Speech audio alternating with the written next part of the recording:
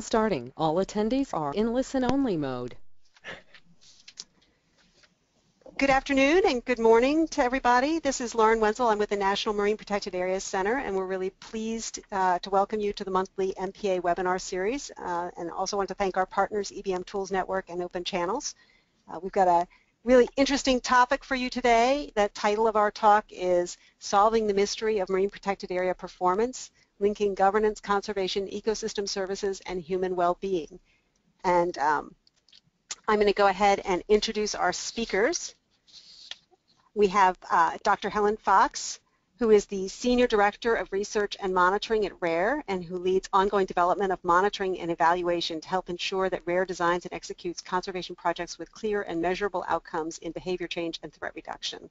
And before joining RARE, Helen was the Director of Marine Science at World Wildlife Fund and provided scientific and technical leadership in support to marine places where WWF works, with a particular focus on Indonesia and the Coral Triangle. And she has worked as a naturalist and a snorkel and dive guide and conducted marine conservation research projects in many parts of the world, including Indonesia, Australia, Belize, the Solomon Islands, and the U.S. And our other speaker today is David Gill, who is a postdoctoral fellow. Uh, at SESYNC, and his research focuses on identifying linkages between marine protected area governance, human well-being, and ecosystem health. And this project brings together an interdisciplinary team of researchers and data from MPAs from around the world to identify key trends between MPAs and their social and ecological impacts. And David has recently completed his PhD, congratulations, uh, and it's entitled The Economic Value of Reef Fishes to the Fishing and Dive Tourism Industries in the Caribbean. So uh, in a moment, I'm going to turn the, uh, the microphone over to our speakers, but I just wanted to mention that we do uh, spend a good chunk of time at the end for questions and discussion, and we really encourage you to submit your questions and comments, and you can do that via the question box on the on the webinar interface. So please go ahead and type those in. You don't need to wait till the end to do that, but we will go ahead when the presentation is over and then facilitate that question and answer session. So Helen, I'm happy to turn it over to you. Thanks. All right, great. Well, thanks very much, Lauren. Uh, and I also want to acknowledge uh, NOAA, who played a key role very early on in this. Uh, Mike, Mascia, and I came over to NOAA and talked about uh, what was the potential for looking at data from How is Your MPA Doing, which was an effort uh, a number of years ago from NOAA. And also Susie Holst has been a member of this working group as, and has been hugely helpful in getting the, the data that NOAA has been collecting into this project. So I wanted to say that right at the very beginning uh, with much gratitude. Uh, and this uh, represents a collaboration between the National Socio-Environmental Synthesis Center, which is SESYNC, and the Luc Hoffmann Institute of WWF International. So they've, they've co-funded this work uh, and a long list of partners. Oh, sorry, we're not have you given us control to be able to, there we go, okay.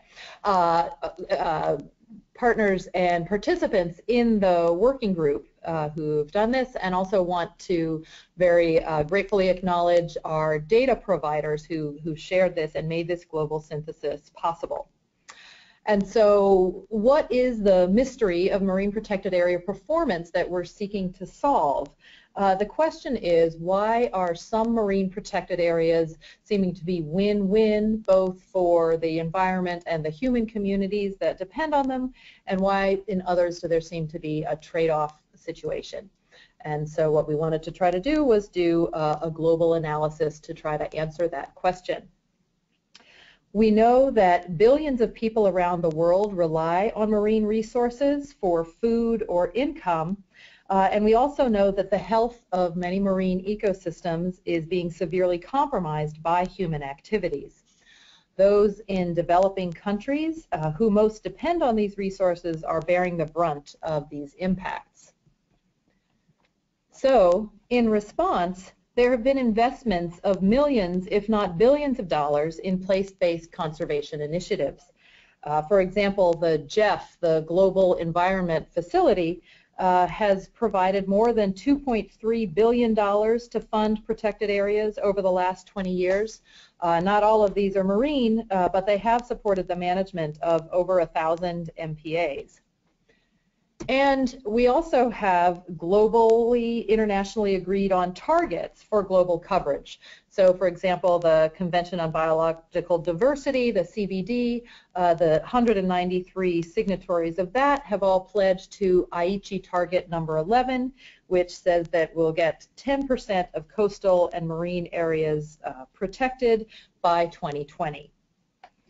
So as a result of these investments and these targets, there's been a rapid increase in MPA coverage over the last 20 decades.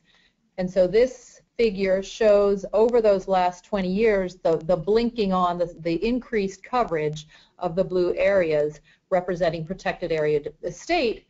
And so now we are actually a, a, third of the way there with 3.4% of the, the ocean surface in marine protected areas. Uh, the proportion of this that is in no-take zones is much smaller. It's only about 0.6%, uh, but still we're, we're on our way. And as we go towards that 10% target by 2020, uh, and also given what's at stake, we want to know how can we better ensure that MPAs deliver on the ecological and social benefits that they were intended to produce. What can we learn from this 3% if they're effective at meeting their objectives and why or why not? And so this is our uh, big question asking what drives uh, MPAs globally. Uh, and so we're looking at three main questions between governance and ecological outcomes. Uh, the first, uh, governance, has been theorized to be a major factor affecting the success of management interventions such as MPAs, where how decisions are made and how resource use rights are defined, allocated, and enforced can affect social and ecological outcomes. We want to know how are MPAs governed and then we also want to know what is the fish response to those outcomes. Uh, certainly a lot of work has been done on examining the biophysical and MPA characteristics that affect the biological performance in MPAs, uh, notably work done by Sarah Lester et al., who's part of our working group, uh, Graham Edgar with the, the Reef Life Survey, uh, etc. And then our third major question is what is the relationship between MPA governance and that response? So can we actually look at the, uh, you know, the connections between those two? And so uh, to do this, uh, we used an approach, a combination of three main research frameworks.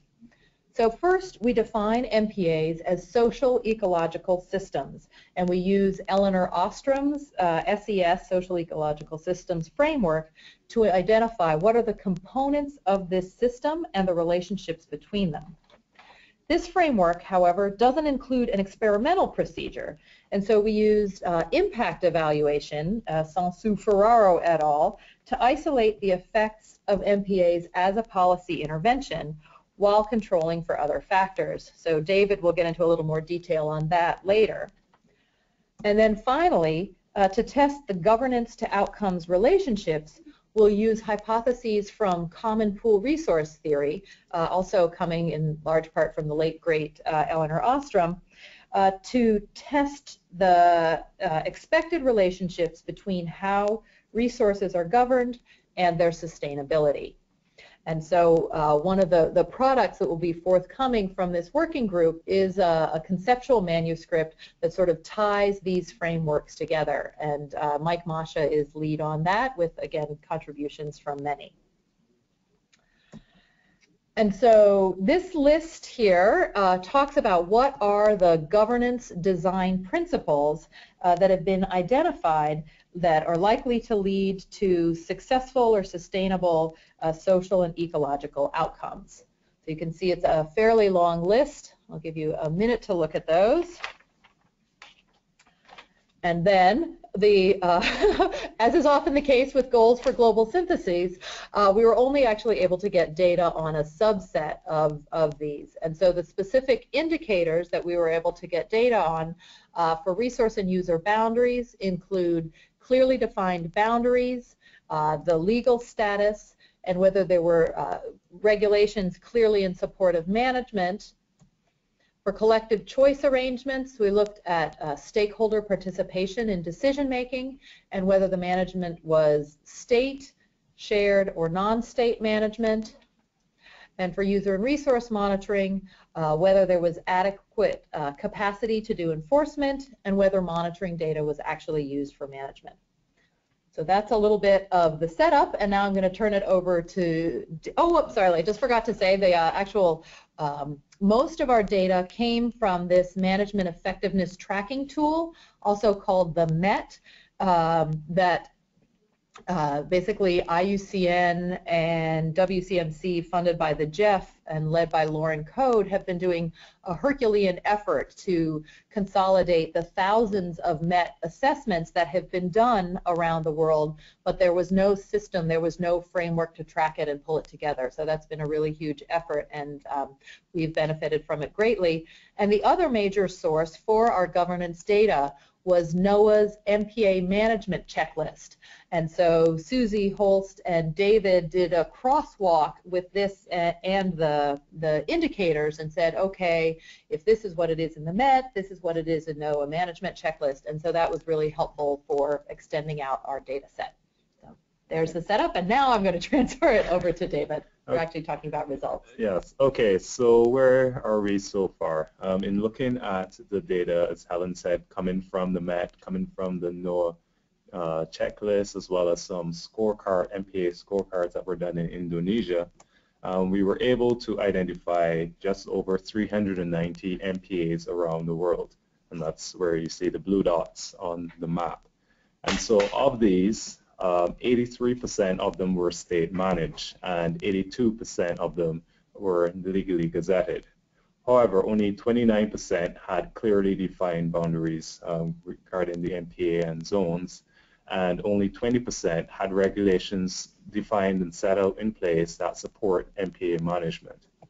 Um, just around half of them said that stakeholders, local community members, directly contribute to the decision-making process and around 47% said that they had acceptable or excellent enforcement or enforcement capacity.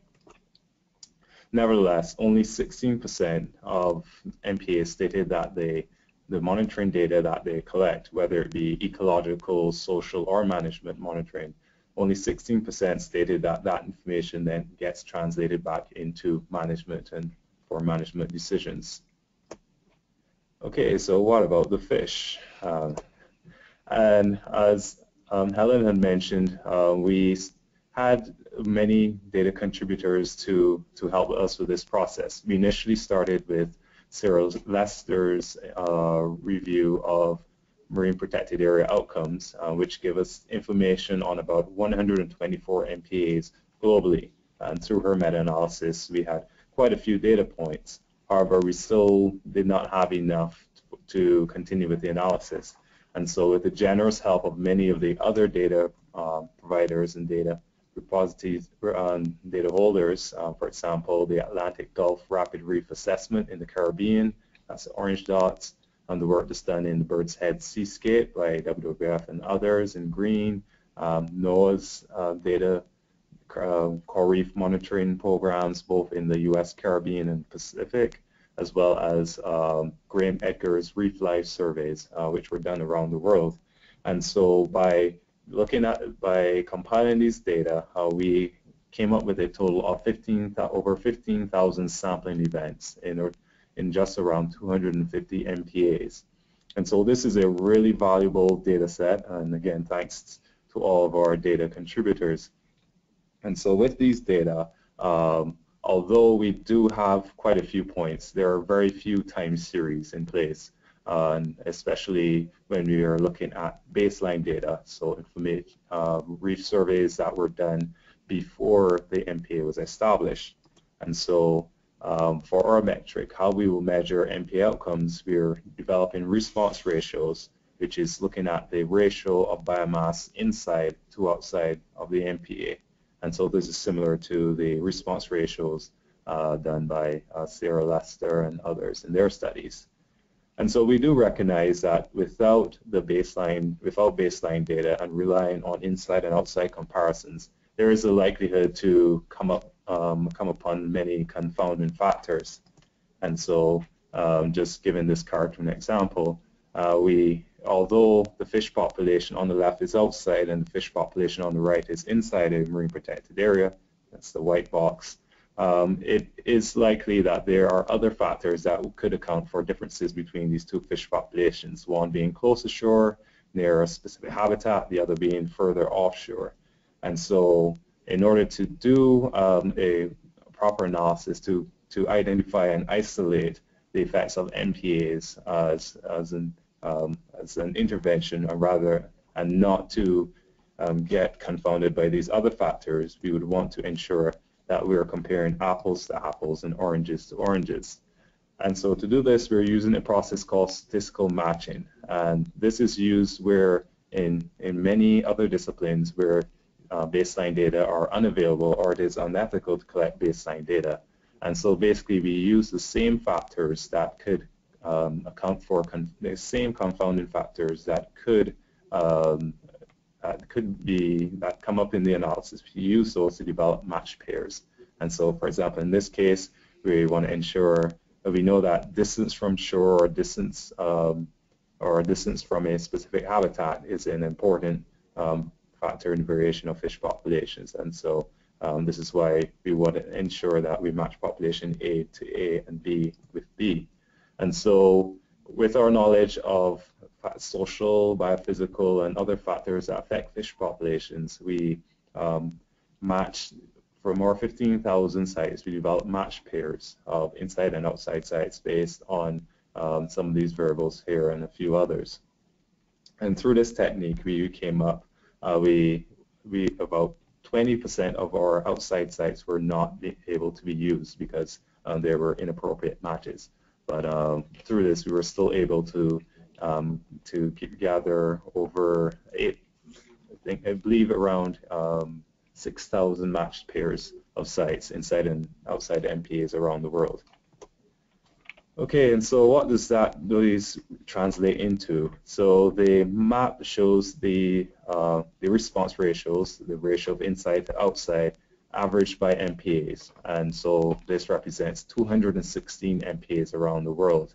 And because the response ratio is in the ratio of inside to outside, positive values indicate um, those areas where the fish biomass were greater inside of the MPA than outside, and negative um, values indicate the opposite. And so the green, the yellow, and the orange um, icons, uh, symbols, those indicate MPAs that had um, positive response ratios and these four colors represent the quartiles of the, uh, the average response ratios that we have. And so overall, um, looking at the map either by individual MPAs or say averaged by ecoregions, we see quite diverse re results, but overall positive. If uh, three of the four quartiles based, uh, or around 74% of the data um, showing MPAs that have positive response ratios uh, from around the world. Okay, and so pulling it all together, looking at the relationship between the MPA governance and the and those fish response or outcome variables. Uh, at the simplest level, when looking at how we govern MPAs, is uh, we speak about resource use rights and what rights and uses are allowed within the protected area. And one of the most common ones that are speak are that are looked at is looking, comparing no-take zones to areas where fishing are allowed in MPAs. And again, uh, with response ratios, positive values indicating um, greater biomass inside to outside, we see um, comparing the fishing zone, that's the bar on the left, and those in no-take zones, the bar on the right, we see greater response ratios in no-take portions of MPAs around the world, as expected. Uh, it's found in many other studies. But what we also see here is that even those areas in MPAs where fishing is allowed, we still have on average positive effects. And so even though some extractive use is going on, uh, these protected areas are still um, allowing for some positive ecological outcomes. And looking more closely at those the governance variables that Helen introduced um, and the, the various attributes of the MPAs and in terms of how governance is carried out or the structures that are in place. Um, here we have on this spider we have um, evolution uh, where one is where we have devolution from state all the way through to non-state actors which is three. Um, we have inclusive decision making, um, whether the MPA was is legally gazetted, uh, regulation, if they had regulations in place that were supportive of MPA management, if the boundaries of the MPA was clearly defined, if there was active enforcement within the MPA, and whether or not monitoring data monitoring was conducted, and that information was leading uh, to uh, informing management. And so um, when I, we plot those MPAs that had negative response ratios, and so these were about 48 of the 58 MPAs where we had both governance and ecological data. Um, those MPAs were all 10. 10. Sorry, yeah, sorry, those were 10. Sorry. um, so all of those MPAs were state managed, um, and they were they gave very strong scores for inclusive decision making, um, and were almost all legally gazetted. They, however, had very um, weak scores for regulations and monitoring and on just around average scores for enforcement and boundaries. And so overlaying those MPAs where we saw positive response ratios, this is 48 of the 58 MPAs, um, you see that that population was made up mostly more of MPAs that were where management was devolved to non-state actors, and as well those MPAs had significantly stronger, um, higher scores for regulations that are supportive of management. And um, and again, although these are preliminary results, we are we do but there are potential uh, variables that we need to look at more closely for the ongoing analysis that could explain the differences in um, within those MPAs that are have those positive um, outcomes and those that don't. Okay. All right, so I'm uh, now going to talk a little bit more about our just our next steps and uh, conclusions. As David mentioned, uh, these analyses are preliminary, uh, and we're uh, working on more complete analytical models. That's just a little image of a, a small smattering of all the various things that uh, David is trying, and so he'll be happy to talk about that more. most of it's well over my head after that.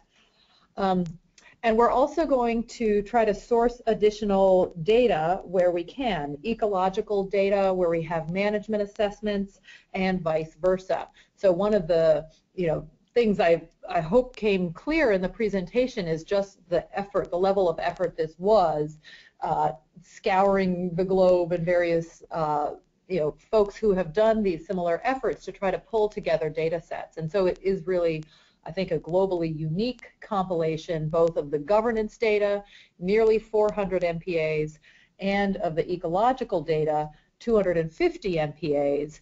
And yet, when we put it together to see where do we have data on both, it's currently only 58, so less than 60. So that really sort of hinders our ability to be able to make the links between the two. And so we'll do some um, you know, digging to see can we get those numbers up because then there are potential you know, more analyses and more insights that, that could emerge. Including, if the data allow, we'd like to look at what governance factors are important under a variety of contexts. So for example, large versus small MPAs, nearshore versus offshore MPAs, um, etc.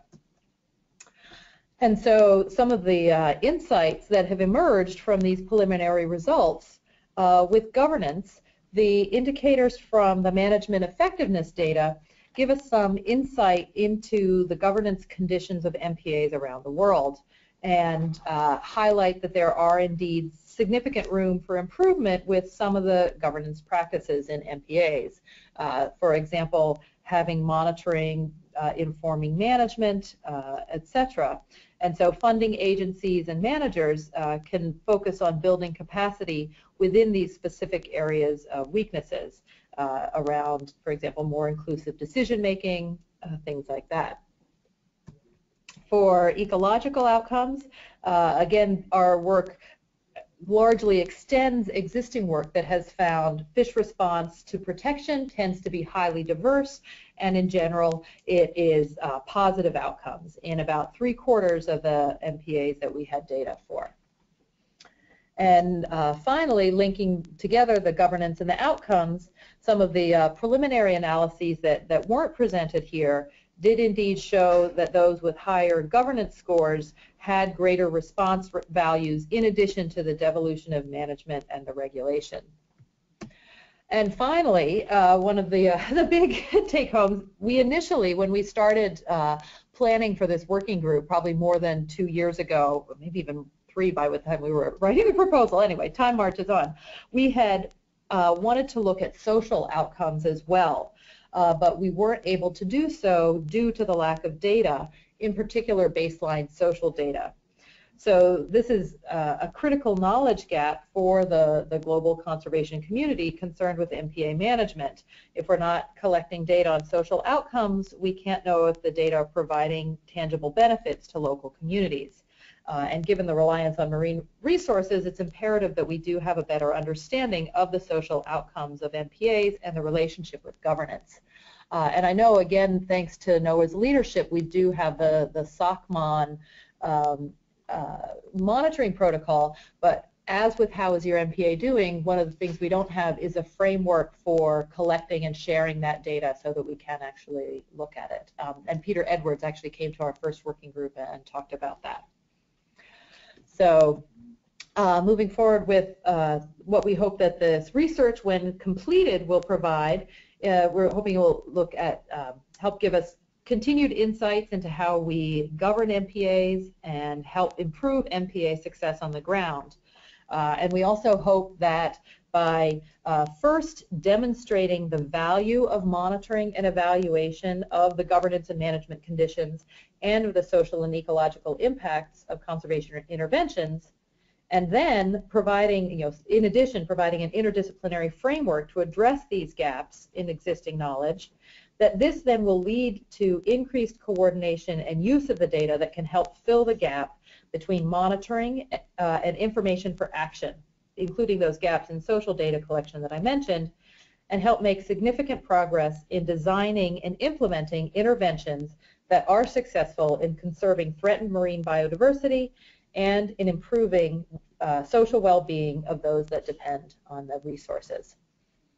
So with that, uh, we're happy to take any questions and thank you very much for, uh, for your attention and for hosting us in this webinar. Thank you.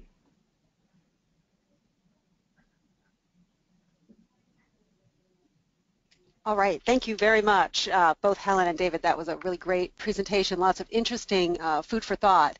Um, I will say one of the first questions was, is it possible to get a copy of the presentation available after the webinar? Uh, we do plan to post a recording of the webinar, and Helen, if I'm right, you're going to share a, um, a version of the slides uh, that uh, with, with, information that um, you're comfortable sharing, given that this is preliminary. Is that right? That's exactly right. So we will get that. It's just that, you know, as I hope you got a sense of, this is just sort of coming together to a point where we can do analyses, and it may well change, especially if we're able to add a few numbers. So we would not want um, to have inaccurate information. but we're, you know, we're confident in what we've done now, but we are still working on it. Great. And I wanted to ask, and I think so, a couple of others were interested in this area about the term devolution and what exactly uh, is included in that. Okay, um, for devolution, we're looking at the, um, the transfer of managing authority from a state to a non-state actor. And this is opposed to looking at decentralization, which is um, from a larger scale down to the local scale. And so um, we were initially wanting to look at both, but it, it is quite difficult um, in looking at, say, de um, decentralization where the national scale on some islands may actually be smaller than the local, um, the area that a local authority has to manage in a larger country. And so um, for this research, we're going to focus on, um, because there has been a lot of work um, looking at um, where um, the where power is transferred to a non-state actor, those see different outcomes than those that are in cases where the intervention is managed by the state. So one of the questions that was raised is, can you conclude from this that uh, MPAs are more successful if they have a bottom-up approach? Uh, uh, from the results so far, it does seem um, that those that um, were not managed, uh, more of those that were not managed by the state were successful. Again, the bottom-up bottom approach indicates um, the scale of management, and so we're still working to see if we can look at look at that, um, but not to say that the states are doing everything wrong. uh, but so far, it does show that um, having either a non-state or a shared uh, relation, uh, shared management between state and non-state, which in some literature has shown that that is much stronger than either state or non-state um, those MPAs uh, on average had a greater, had more positive outcomes. Okay, thank you. Uh, there was also a question about how stakeholder involvement was defined and measured.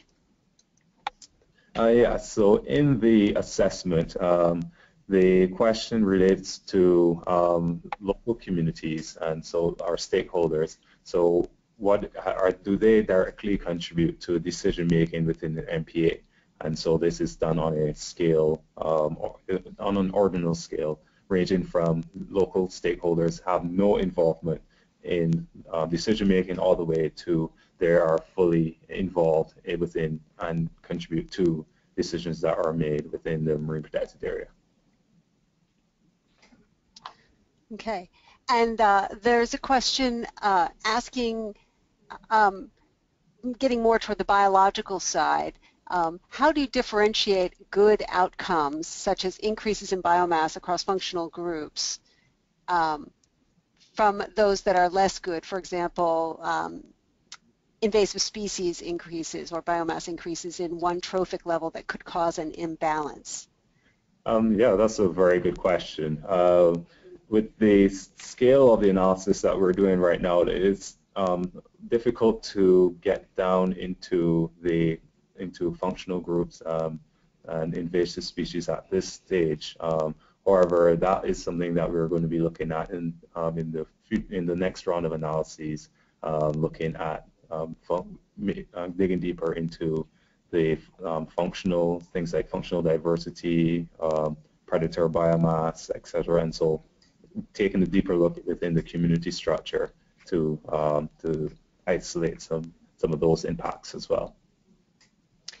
And uh, George Leonard also had a question about um, responses and asked, why would you see negative responses as opposed to no response? Does that suggest that poorly designed or enforced MPAs actually attract more fishing and extraction than if they weren't established at all?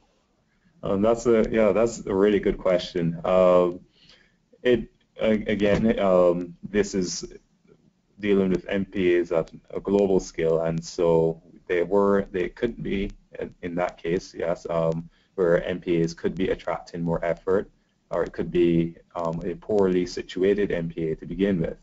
Um, and so it is very hard to dis disentangle some of those effects, but um, in, in any case, um, for the majority, I can say that for the majority of the MPAs, one of the main objectives is to protect the biodiversity within its boundaries. And so if the MPA is failing to do that relative to the outside, um, to the conditions outside of the MPA, then that MPA definitely is underperforming. And there's another question from Marcy Cockrell about the ones that scored negatively on the response ratios and wondered if there was a um, a time component involved. Did older MPAs have a more positive response than those that were established more recently?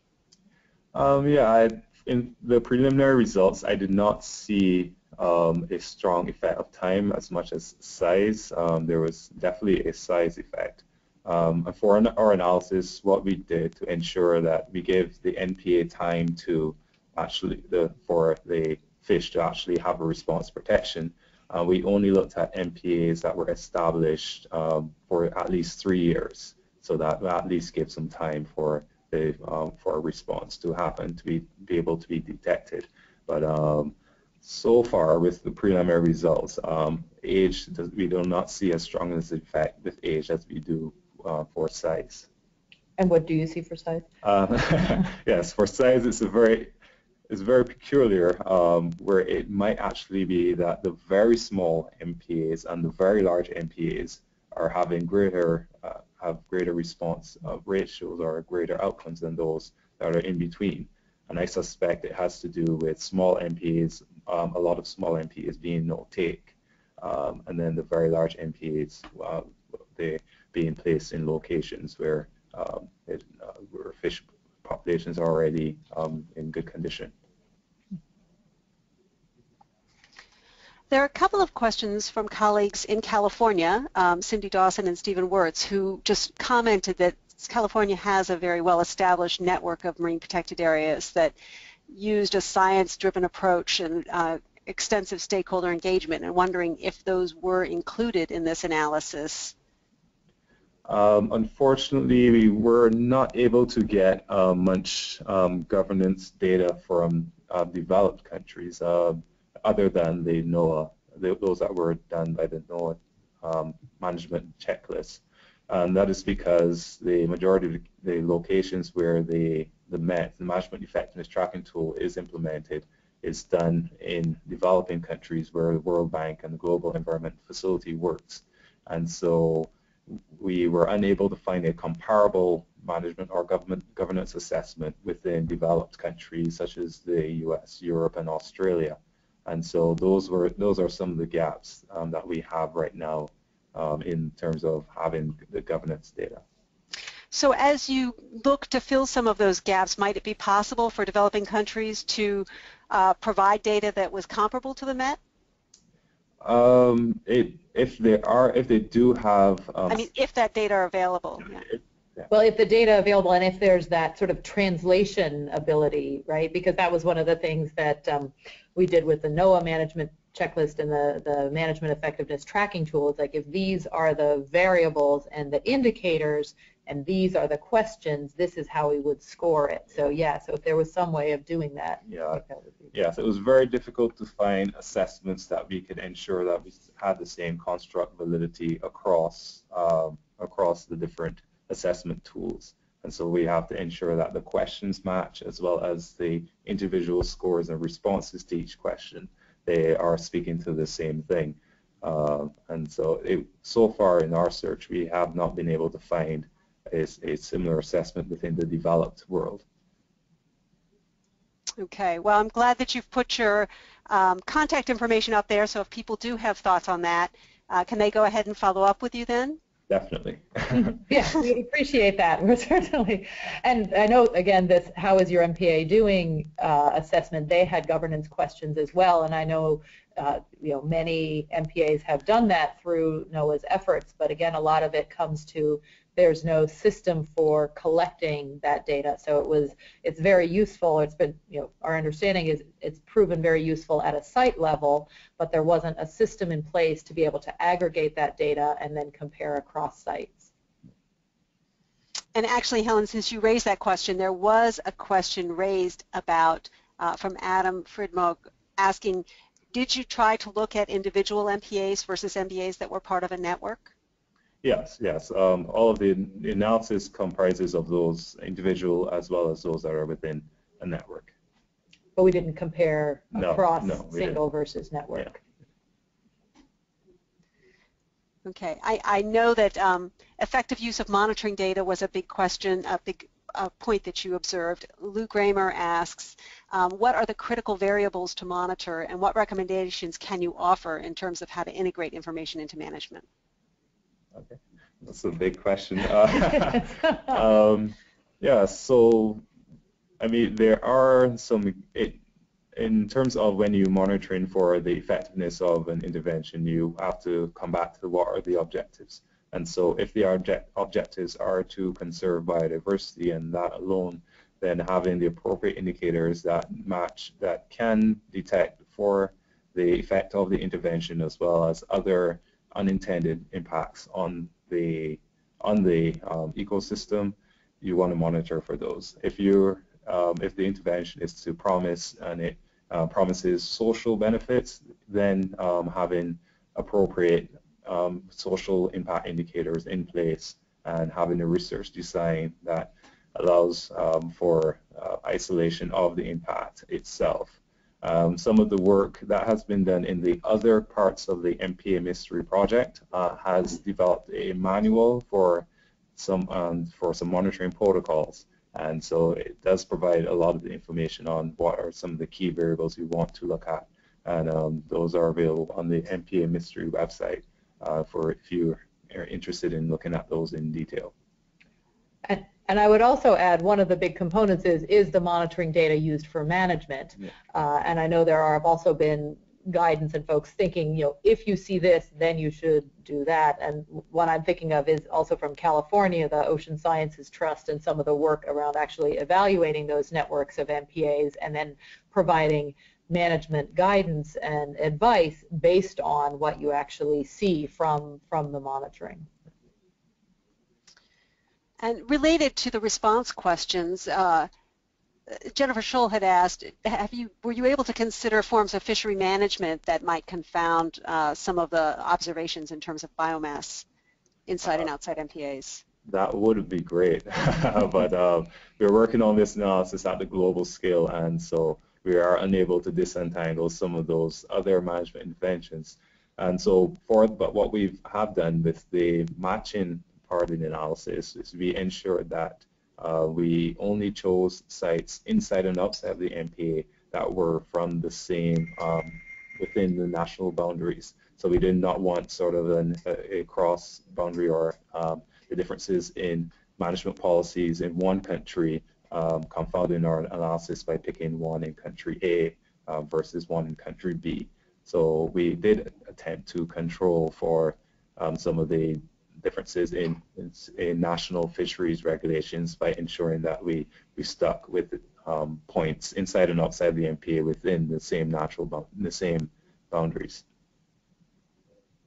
And just related to the issue about inside and outside boundaries, Catherine Wyatt asked, did your study include any measurement of benefits to an MPA to areas outside the MPA, such as spillover? Um, not as yet, and that's something I'm really anxious to to use the data to look at, and to, because we do have um, data from inside, just on the boundary, and um, and sort of a, a, and the distance away from the MPA, and I'm hoping um, as when this round of analysis is finished, finished to look at a distance decay effect if we if we see some sort of um, decay as we move away from the MPA boundaries and then look to see then how other contextual or governance factors might affect the, the spillover that might be um, be detected in the data. Because uh, just to add, because those any um, in the matching, any sites that were too close to the MPA were discarded in order to provide a valid match in case there was spillover happening. Yeah, yeah. Okay. Uh, we have a question from Angela Orthmeyer asking about the regulations indicator. Can you talk about how you decided whether or not regulations supported management of the MPA? And can you give an example of a regulation that didn't support the management goals? Well, these are um, these assessments were not um, done uh, in terms of the scoring was not done by us. These were um, assessments were completed by either the MPA manager uh, or within a focus group within um, for of stakeholders for the MPA, and so as part of the MET yeah, assessment. as part of the MET assessment. And so it is, it is with their local knowledge, with as a manager of the MPA, uh, are the re local regulations or the national regulations that are in place, do they provide enough support um, for the um, for the, the functioning of the MPA? And I think you know, from the WCMC website, it's possible to download the MET, the Management Effect Assessment Effectiveness Tracking Tool. So you can actually see what are the questions that make up the MET. And so basically what we did is look at what the answers were to those specific questions and say, well, these are indicators. You know, these are the, the, the metrics yeah. for these indicators. Yeah. And so the, for that question, it did range from um, having no regulations in place or they were not well defined uh, to uh, having those regulations that are in place uh, well supportive of the MPA um, policies. Okay. Um, Erica Cunningham asked, are there regional bright spots or bright spots in terms of countries that could be helpful in terms of models for good MPA governance that other countries could rep replicate when they're looking at policy reforms? Yeah. Um, I haven't looked to add specific, um, I haven't looked to downscale to try to identify, identify those regions as yet.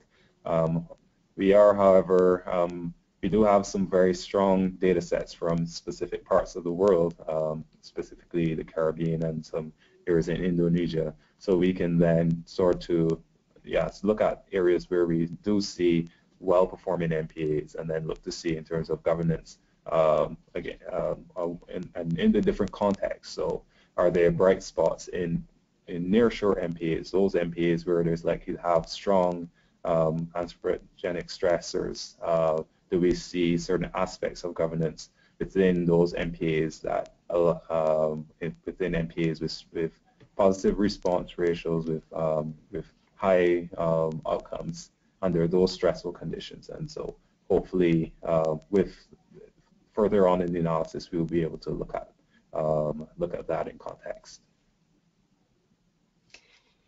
And I, I, suspect this is probably in a future iteration, but a, a similar question: Was it were you able to parse out the strength of state government structures and how that affected the outcomes of MPAs? Uh, well, other than the available data within the assessments, uh, we were not able to determine um, this uh, other factors of, regarding the strength of the, the state manage the of the state and how they manage. Uh, we we just have to rely on the available data.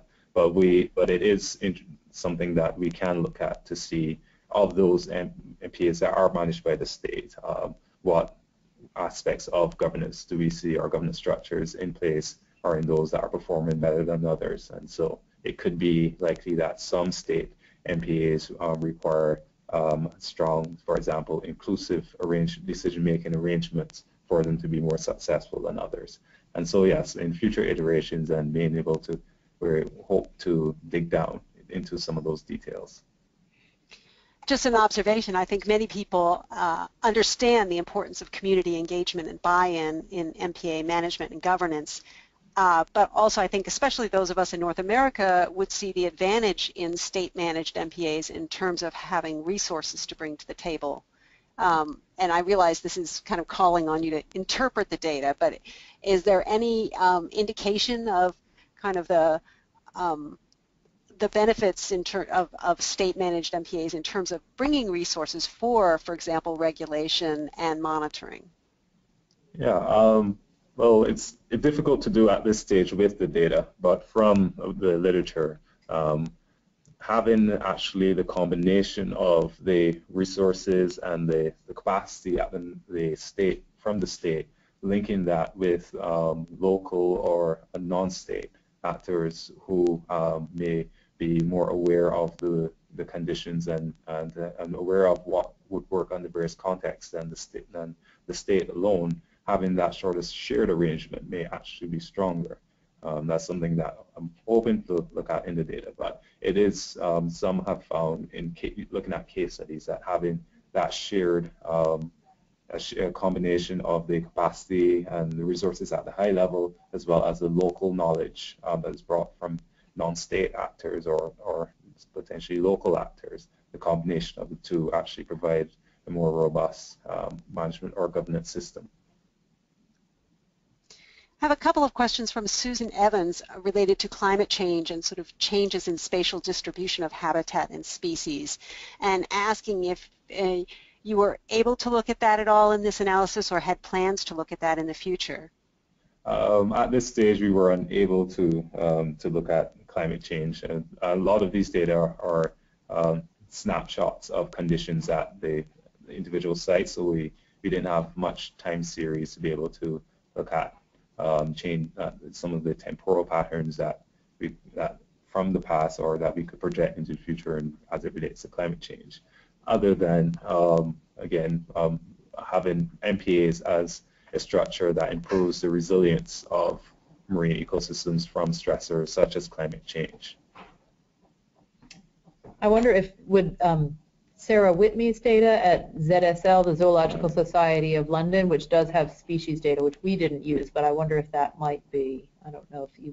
Well, yeah, um, currently um, there is efforts to compile what's called the um, the LPI or the Living Planet Index, which is composed of population time series uh, from around the world. And we were initially going to use the, look at using these time series to give us that, that temporal component for analysis. However, there were very few marine populations within that database. But it's an ongoing effort um, by um, Zoological Society of London and others. And so hopefully in the future we um, then we can include some of those um, some of those data or time series data into our analyses. We do have a couple of questions just asking about future publications and access to the methodology in terms of making your work uh, more available to the to others. Yeah. Definitely a goal. That's David's job for the next uh, six months, right? Yes, definitely. We will um, aim to publish as um, publish the methodologies. One of the things that we're working to bring out first within the group is uh, the concept, sort of um, provide information on the conceptual framework behind this analysis. So how we exactly we bring in the Ostrom socio-ecological um, system framework with coupling it with impact evaluation and common pool resource theory.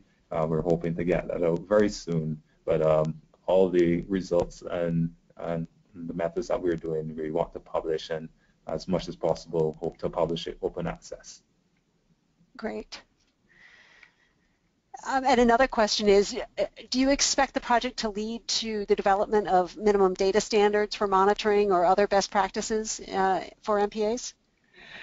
So ideally, yes. One of the things that is a related effort uh, is, and there was in fact another sort of um, preliminary working group at SESYNC is indeed just around that. Uh, what are potential ways that different data sets could talk to each other? And uh, uh, WCS, the Wildlife Conservation Society, they have a project. Um, Emily Darling, who's in our working group, is leading that, and it is funded to look at, uh, in a few key coral reef geographies, what are, you know, is there scope to get to a minimum set of, of indicators? So efforts are ongoing that we do see that as that would be a, a helpful next step uh, from from this work, and indeed uh, some of the work that's uh, that we're involved with in Indonesia is also trying to you know has put together basically a, a collaborative database that's in development uh, that will hopefully then be online and widely available if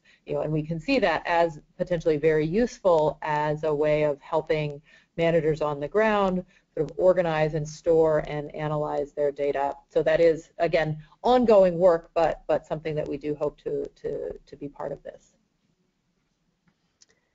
And I've got a question from Tundia Gardi asking, in future analyses, would you consider matching outcomes to anticipated outcomes in terms of management objectives, recognizing that all, not all MPAs are established for conservation purposes? Um, yeah, that would be, um, yes, that is the ideal scenario where um, where you do, uh, where you have information on the actual outcomes um, related to the specific objectives of each of the protected areas.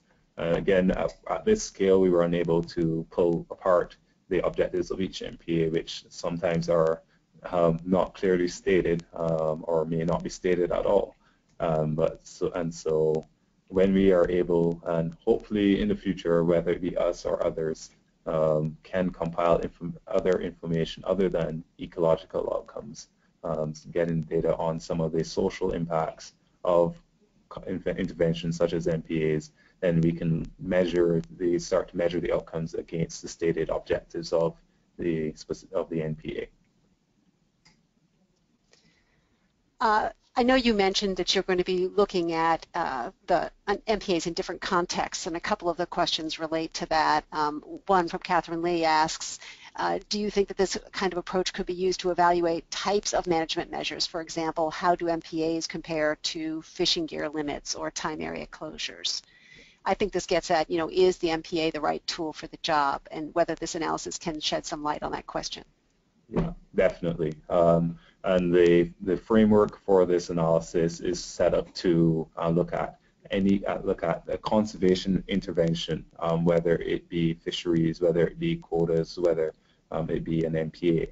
And so it's only because there are available data for MPAs that we focus on MPA in this analysis. But um, the framework that we hope to share and others will use, um, this could be used for any other any other conservation intervention.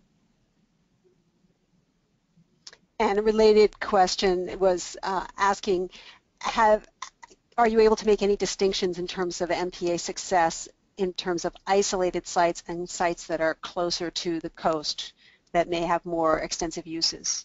Yeah. Okay. Um, not as yet. Um, I haven't looked at those. Um, the again, those contextual factors. Um, hoping with um, the next round of pulling in a few more MPAs that we'd be able to get a little bit more data to then look at those look at the governance in different contexts, uh, near shore, offshore, large, small, um, and yeah. Um, there's a question from Don Zelansky asking about what are the, some of the typical governance weaknesses that you were finding, and I know you summarized that in the um, in that interesting graphic that you created with the different data shown on the um, kind of the spider web approach. But I wonder if you could just comment a little bit more on what you have found in terms of the governance uh, factors. Yeah, um, in terms of the ones where we saw major weaknesses, uh, it was uh, where around 20, I believe it was 20% of the MPAs have the regulations that are in place, defined, um, set out, regulations are set up to support management. Um, that was one of the weaknesses as well. Because that means 80% don't, right? yes. And um, I think um, if I, off the top of my head, I think it was 27 or 29% had clearly defined boundaries. So in coming back to the theory, um, that's where the resource users actually know the rules and regulations in place um, for the, um, the intervention and for the MPA. And then the one by far the one with the lowest percentage was those MPAs that collect monitoring data. And there are, I'm sure, millions of dollars spent around the world collecting monitoring data, but only around 16% say that monitoring data feeds back into management.